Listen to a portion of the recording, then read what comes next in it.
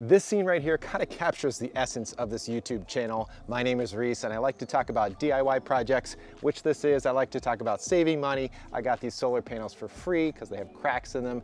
I like to fix things and hopefully I don't have to fix them yet. But I also like solar and I like batteries. And I'm charging up this portable battery unit with the free solar panels that I got, with the free sunlight that I got, so it's a great combination. In today's video, I wanna talk about choosing a portable power station. These things are great, especially if you wanna get into solar power, but you're not quite ready to put a whole system on your house. You can grab a solar panel and one of these units, and so you can monitor how much solar you're producing and have your own little off-grid system that you can use for backup and portable power. To cover this topic, I'm gonna review this Growatt Infiniti 1300 power station. They sent it to me. I'll give you my honest opinion of it, as well as use it as an example of what to look for if you're interested in getting a device like like this. So I want to cover what these things are, what you can do and how you can use them, and what should you consider if you're thinking about getting one. So what is a portable power station? Sometimes they're called solar generators because they can easily take solar power and charge up the batteries inside. And that's what this thing mainly is. The bulk of this casing, what's inside of there is a big battery. And so they come in different sizes and different types of battery chemistry, which I'll go over. But the main thing besides the actual battery are the outputs. And on most power stations, you're gonna have DC outputs and AC outputs. And particularly what the AC outputs uh, can do really matters, and I'll get into that. But on this Growatt 1300, you have four USB-A ports, you have two USB-C ports at 100 watt power delivery, which is great because you can run your laptop and charge your phone at the same time. And I, it's kind of a pet peeve of mine in these portable power stations that they don't have as many USB-C ports. A lot of times they just have one, so I'm really glad that Growatt has two on there. And in terms of AC ports, you have four of them here, and then you have your standard car port down at the bottom, which uh, is a pretty standard thing on most power stations. Not every portable power station has a wireless charging pad on the top. This one does, and it works really well with my iPhone 13 Pro, which has this bump and the case on it. I can just put it on there and it immediately starts working. Besides the battery and what they can output, you also have to worry about what you can input into these things, and they're pretty standard, although there is some differences. They usually have a standard DC input, so this is where you can input from your car or solar panels. There's an AC input, so you can plug it into the wall. And this one's nice because it doesn't have to use a big like power brick. It's just a standard plug. And one thing that's nice about the Growatt is that it comes with all of the cables that you need to charge from your car, charge from solar panels, or charge from the wall. Now let's talk about what they can do. I'd say there's generally three types of categories for these portable power stations.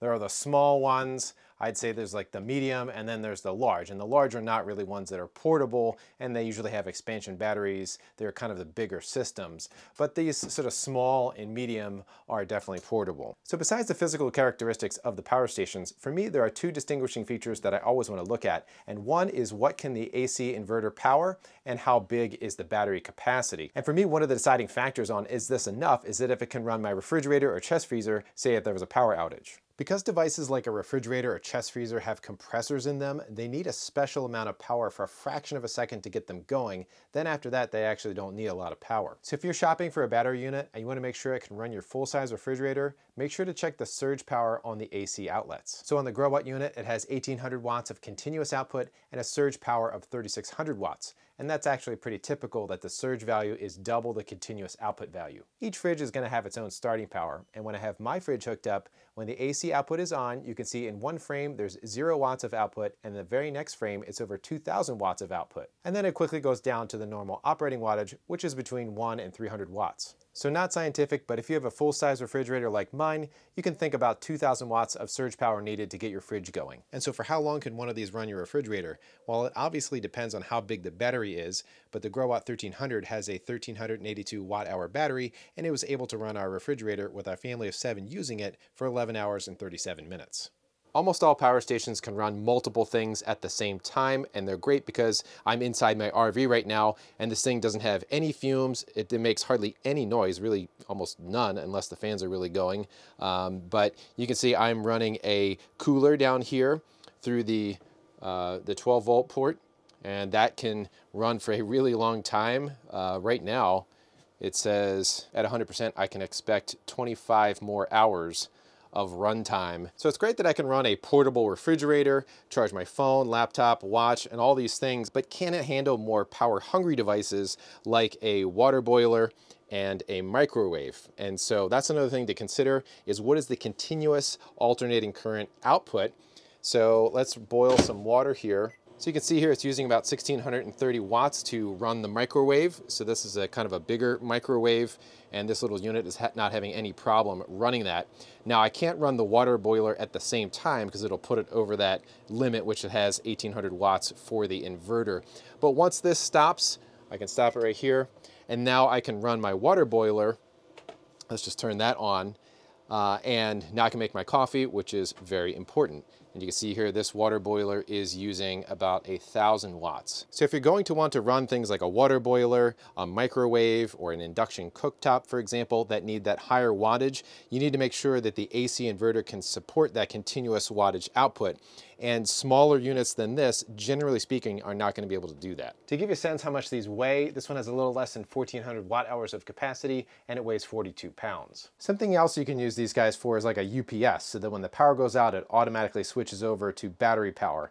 Now, not all power stations have that ability, so make sure to check if that's a feature that you want. Usually if you can input and output alternating current at the same time, it usually has that feature. So I wanna test this feature out and what I've got going on here is I have it plugged into the wall over here. So I've got wall AC coming in, it's charging the batteries, as well as outputting AC power over here to run this laptop. This laptop does not have any battery in it, and so what I want to do is I want to simulate a power outage to see if it can switch over to from wall AC to the battery pack to keep this laptop running. All right, so I'm going to pull this out.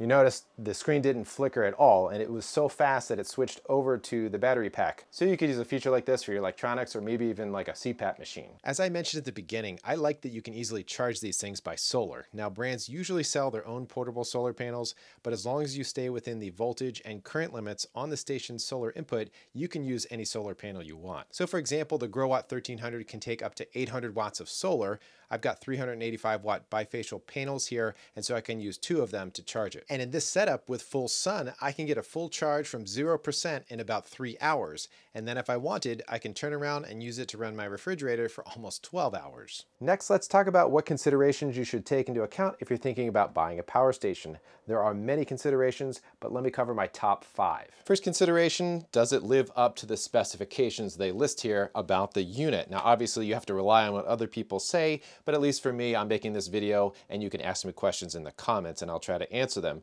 For the Growatt 1300, I would say that it performed as expected in all of my tests. I was able to get almost 800 watts of solar input. I was able to do a full discharge near the maximum continuous AC output of 1800 watts, and it could charge from zero to 100% in about an hour and 40 minutes, and I was able to get 100 watts out of these USB-C ports. A helpful test with these devices is to get an idea of the efficiency of the AC inverter.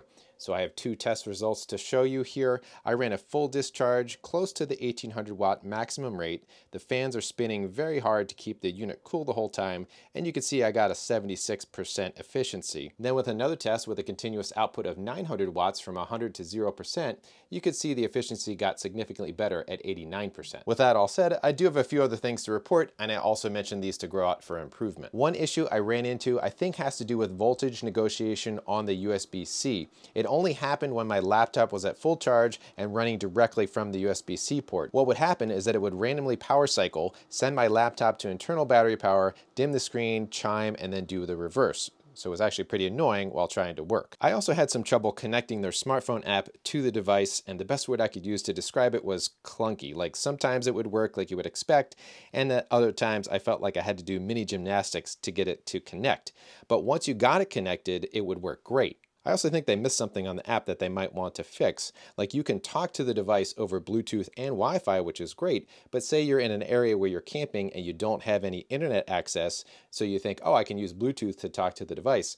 But here you go to open the app and it's requiring you to log in. So you need the internet to get into the app so then you could turn on Bluetooth and talk to the device. So uh, I think they might want to change that so that you can just go right to Bluetooth and talk to the device, say when you don't have internet. Another consideration is the battery chemistry. There's really two main ones out there, NMC and LFP. Most power stations are moving over to LFP, which stands for lithium iron phosphate. It doesn't have the same energy density as NMC battery types, but it has a longer cycle life. So the cells inside of here are lithium iron phosphate. They're rated for 3,000 cycles. And so if you don't know what a cycle is, let me explain it. It's when you take the battery at 100%, drain it all the way down, and take it back up to 100%. That represents one cycle. So this means that you can use this at full discharge and recharge every single day for over eight years before you've reached that 3000 cycle mark. And that time can extend even further if you cycle the battery less often. Next consideration is the physical characteristics of the device. This one's 42 pounds. It has these two handles here, so it makes it easy to carry. Again, that's the wireless charging pad at the top. I like that it has the USB-A and particularly those two USB-C ports. Taking a look at this area, you can see the screen. It's got two different colors, the green and the white. And as an information junkie, I really appreciate all of this information. So it's showing me what's inputting the wattage, how much time is remaining to reach 100%. It's also showing the output wattages and the time remaining on the battery and it even shows when the inverter's on the voltage of the inverter and the frequency. And for the buttons down here, I'm not real crazy about how they look and feel, but they work just fine. Now the fourth consideration is does it have a smartphone app? I mentioned some of the clunkiness of connecting with the device to the app, but once you're inside of the app and connected, everything works great. So you can see all kinds of input and output, basically what's on the screen over here. You can see it on your smartphone app. You can communicate via Bluetooth or Wi-Fi anywhere in the world to monitor it. So I like to take a look at how it's doing. Say I have it sitting outside charging in the sun. I want to see if it's like fully charged or not, and this will allow me to do that. You can also do very important things like change some settings. You can change the charging power, uh, turn the beep on and off. But probably the most important thing is that you can, with a click of a button, check the firmware update. So let's check my firmware and see how I'm doing. And it says that I'm currently up to date. So the final consideration is price and warranty. Obviously you want to think carefully and shop around because these are significant purchases. So some companies offer a two-year warranty on their batteries, and I like the companies that offer five-year warranties, and Growatt is one of those companies that offers a free five-year warranty with the purchase of the 1300. So hopefully this video has been helpful for you in case you're interested in getting a portable power station. I know I used this one as the main example and reviewed it, and if you are interested in this one in particular, since it's brand new, it is on a sale price, and I'll have a link to that information in the video description, and I'll keep it updated with any future deals or discounts.